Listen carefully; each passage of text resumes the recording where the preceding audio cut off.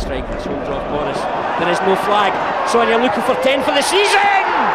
And he delivers in style. Wonderful finish from Sone Aluko. Edgy strength does the job. And Luko loses his marker. And from an angle, whips it beyond. Manis. It's 6 0.